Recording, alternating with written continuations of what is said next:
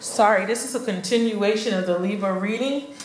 Okay, so shit got real. The sun card showed up. Um, so someone knocked on my door during the last reading.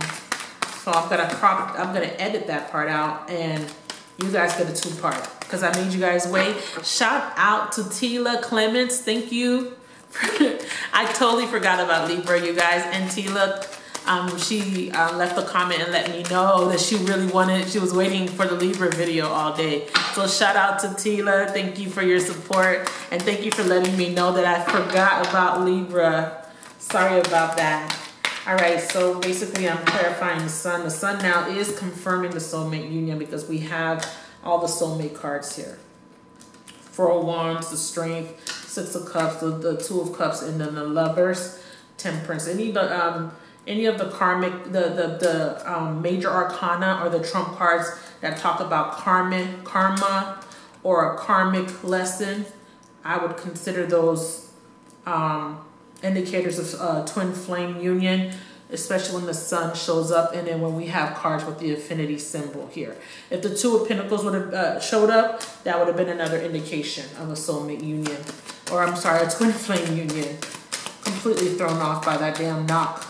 Okay, so clarify the sun card. So your love interest knows that they're your, your twin flame, but I feel like they want to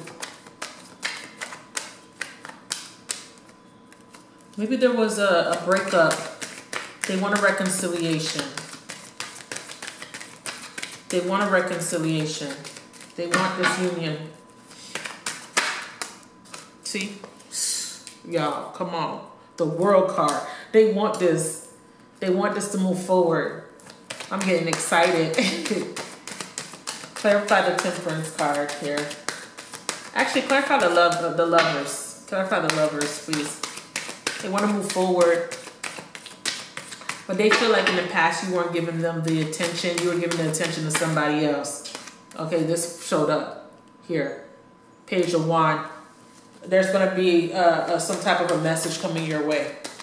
There will be a message coming your way. So your love interest is going to be reaching out to you, Libra.